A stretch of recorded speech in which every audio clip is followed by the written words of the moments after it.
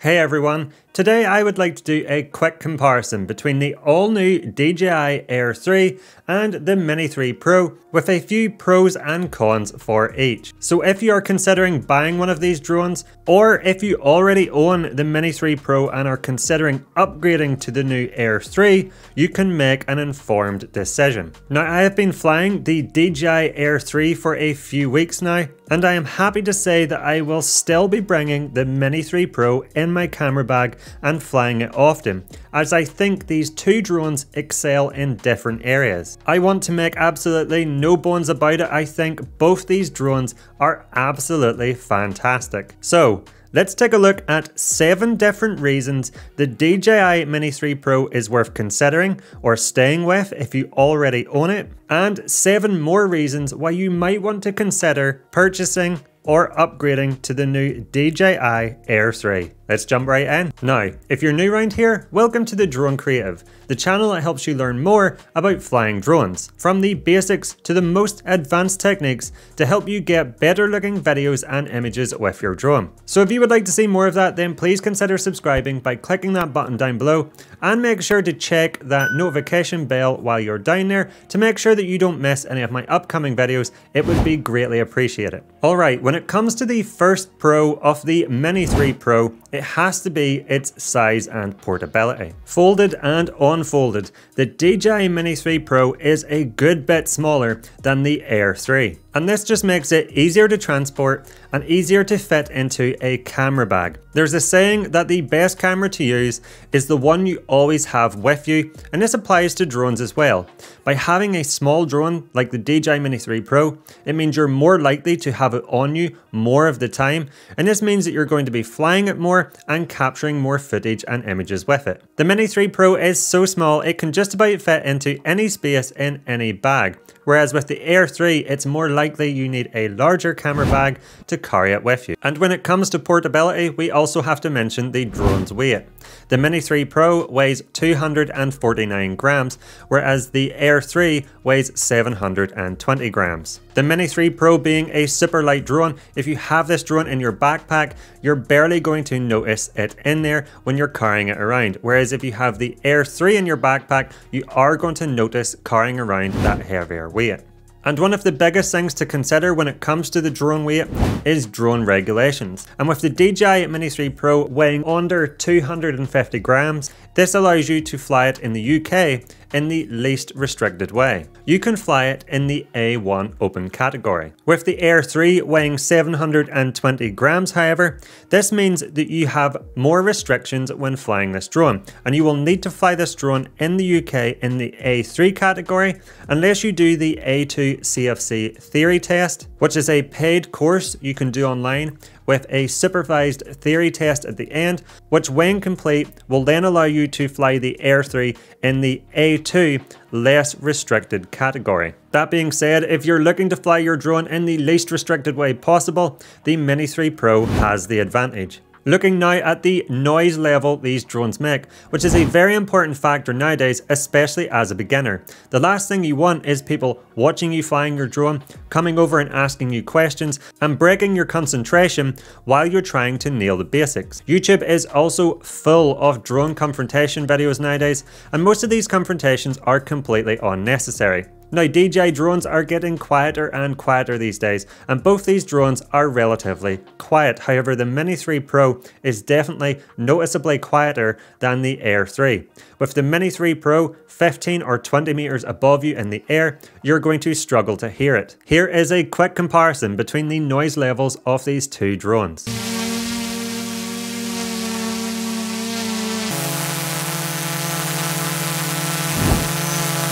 Another area where the Mini 3 Pro excels is being able to capture true 4K vertical video.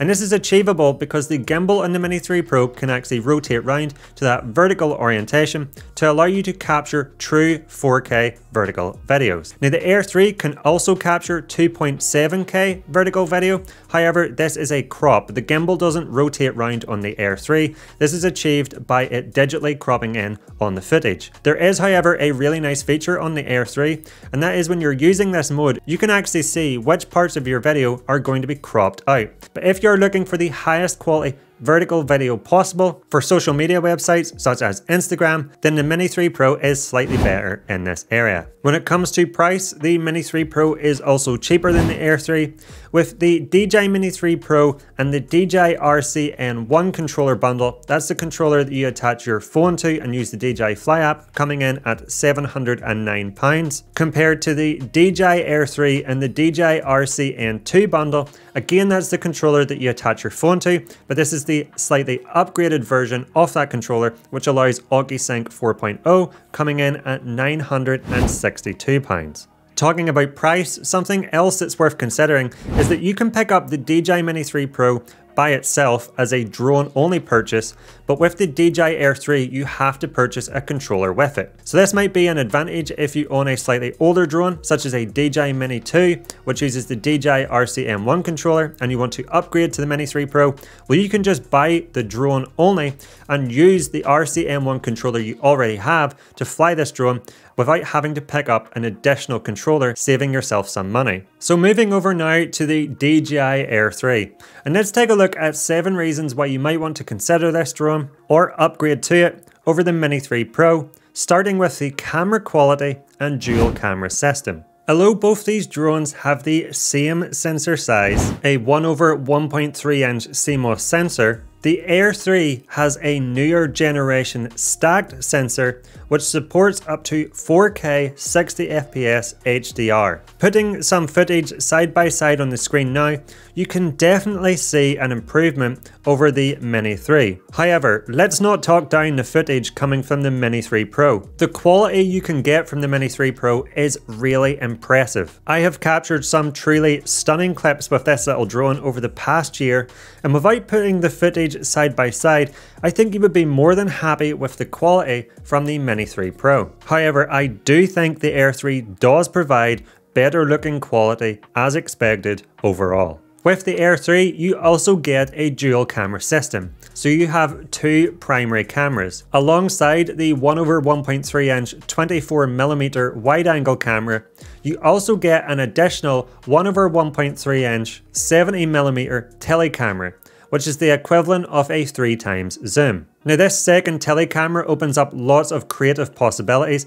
I really enjoy using this second telecamera as it gives you a completely different perspective compared to that wide angle camera and it also allows you to achieve things such as parallax and background compression, which is where the background seems like it's pulled closer to your subject. This camera also has the advantage of if you don't want to fly close to a subject, maybe you're doing a tracking move of a car for example, and you want to keep the drone a safe distance back from it, well you can use that three times telecamera to zoom in so that you can get the close shot you want it, but you don't have to fly the drone that close to the subject. Now while we're on the subject of quality, one of the things that will make a massive difference to the quality of your drone videos and sequences is sound effects and music. Simply take a look at this before and after.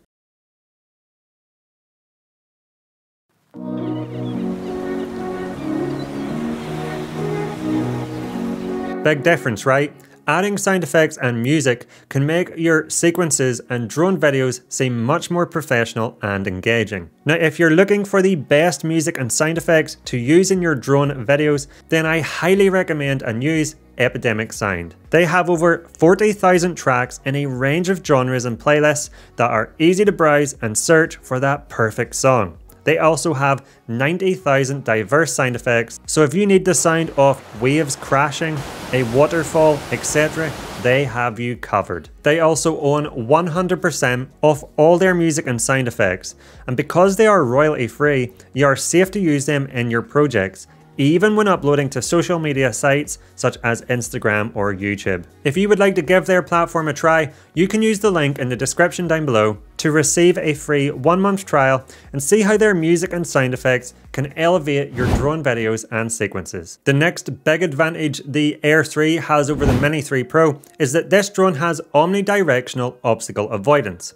Using the two fisheye sensors on the front and back of this drone and binocular lenses and a 3D infrared sensor on the bottom, the Air 3 can see 360 degrees around itself. Comparing this to the Mini 3 Pro's tri-directional obstacle avoidance system, you lose that sideways and upwards obstacle detection compared to the Air 3. Being able to have the drone detect obstacles sideways is a massive advantage over the Mini 3 Pro and is going to make the Air 3 safer overall when flying. A lot of the time you are tracking yourself or subjects, the drone will be flying sideways along next to them.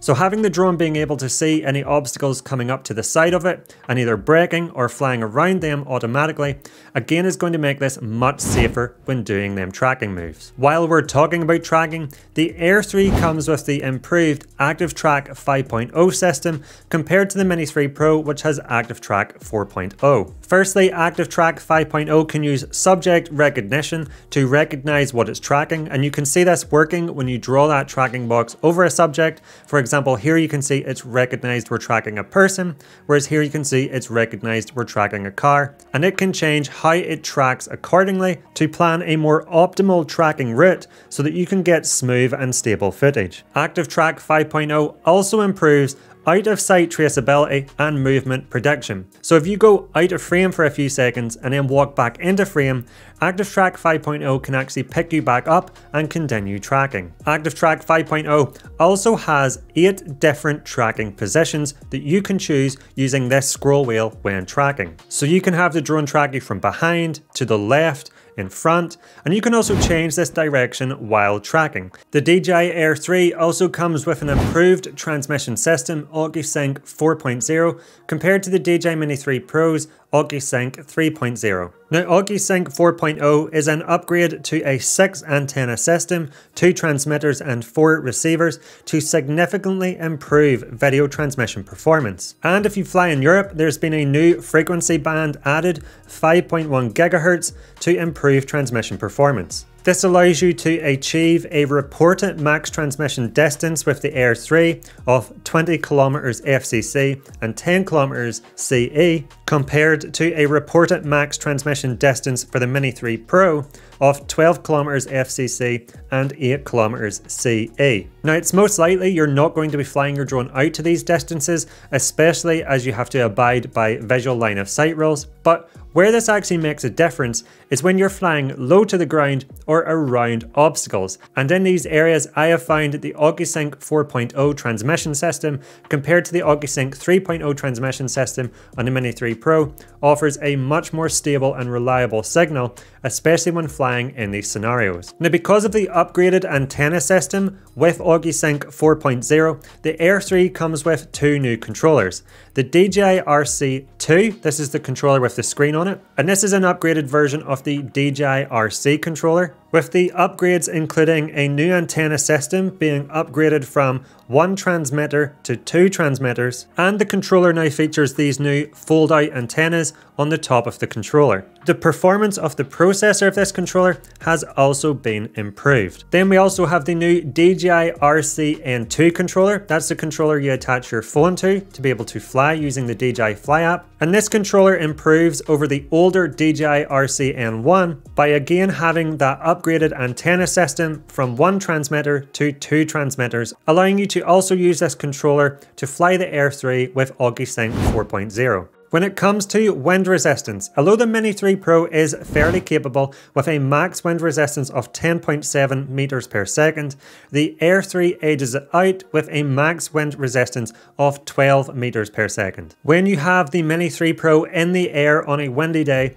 because it's lighter and less powerful, you will see this drone move around in the air quite a bit. Because the Air 3 is a bigger, more powerful and heavier drone, it can stay more stable in the air when the wind speeds start to get higher. And when it comes to speed, the Air 3 is incredibly fast, especially when ascending and descending. The Air 3 has a max ascent speed and max descent speed of 10 meters per second, which is twice that of the Mini 3 Pro, which has a max ascent and descent speed of 5 meters per second. And you really notice this in two areas. Firstly, when you're trying to get your drone high in the air quickly to get it into position to capture some footage, the rate at which the Air 3 can ascend is really impressive but also while descending.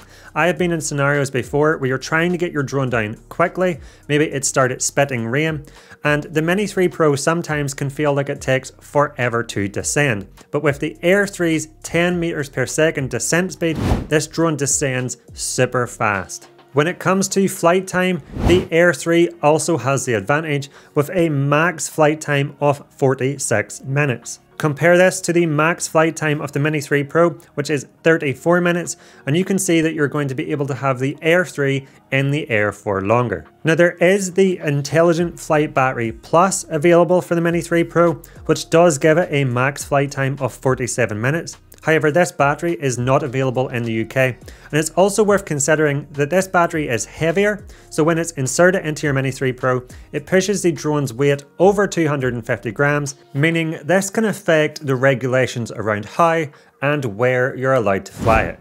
Another thing worth considering when purchasing one of these drones is that the Air 3 allows you to use waypoints. Now waypoints allows you to either plot points on a map or to move your drone to different locations and record them points and then have your drone fly a route automatically between them. You can also have the drone do different actions at these points, such as start or stop recording, or take images. And this can be good if you want to capture the exact same type of video over and over again to maybe show things such as the changing of seasons. This can also be helpful for things like surveying, mapping, or inspections. This is not possible on the Mini 3 Pro, which does have waypoints, but these are only available to use for taking hyperlapses. So in the end, I definitely think that the Air 3 is a healthy upgrade over the Mini 3 Pro in terms of performance, flight time and camera quality. But at the same time, the Mini 3 Pro still holds its own, especially when it comes to size, portability, being regulation friendly and price even though it's been over a year since its release date. So hopefully that helps you make an informed decision if you're considering purchasing one of these drones or upgrading from the Mini 3 Pro to the Air 3.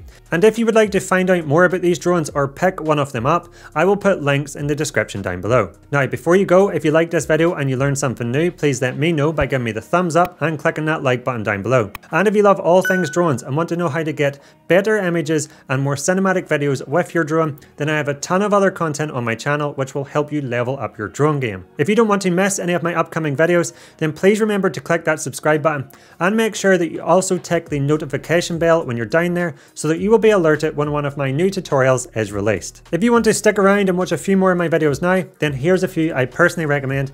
I'll not keep you back any further. Thank you so much for watching. I'll catch you over there.